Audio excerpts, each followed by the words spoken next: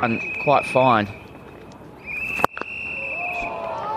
Vermeerkenen can only watch it go over his head for a tiara maximum.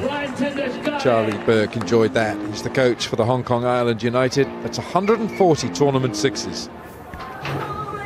Well, ten Doeschate was left out of the last game for David Wiese, but brought back for this one and hasn't really been in his best touch, but just seeing now what he is capable of.